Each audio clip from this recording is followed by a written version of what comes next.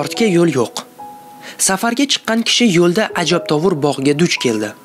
Daraxtlari ko'kka bo'y cho'zgan, mayin barglari shabbodada yoqimli shitirlaydi. Sarxil mevalarning xushbo'y hidi dimoqni qitiqlaydi.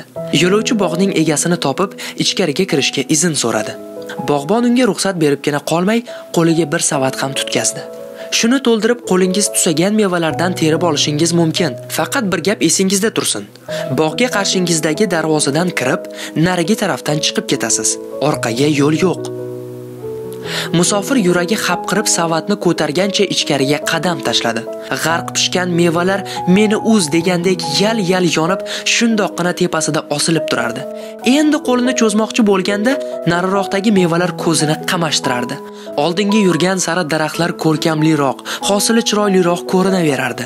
Yo'lovchi shoshib qoldimi yo savatini vaqtidan ilgari to'ldirib, eng sara mevalardan quruq qolishdan cho'chidimi?